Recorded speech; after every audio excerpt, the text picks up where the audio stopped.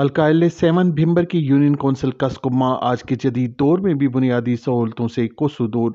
कल रीता कसकुम्मा, काकड़ा टाउन, मरकजी शारा अरसा दस साल से मुकम्मल तबाह बर्बाद हो चुकी है। एहलियान कसकुम्मा ने कहा कि हल्का सात भिम्बर के सियासतदान इलेक्शन के वक्त बड़े बड़े वादे करते हैं, लेकिन जब इकतदार में आते हैं तो सब कुछ भूल जाते हैं।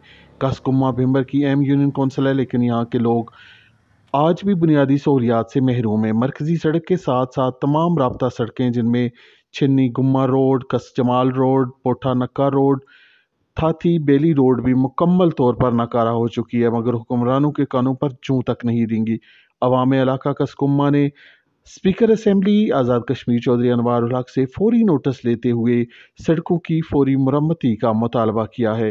Raja Farooq Javed top one news Kaskumma